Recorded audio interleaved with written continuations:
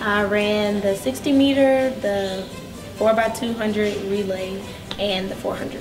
I ran 766.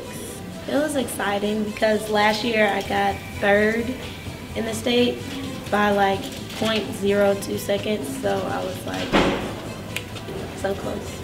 But um, I wasn't actually expected to win anyway, but that's why it was so great last year.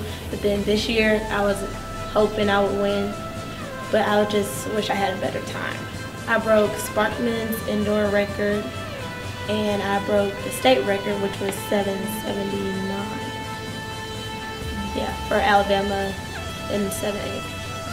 Oh, yeah, the prelims, I broke that record, and I ran a 771. And then for finals, I ran 766, so I broke my record again.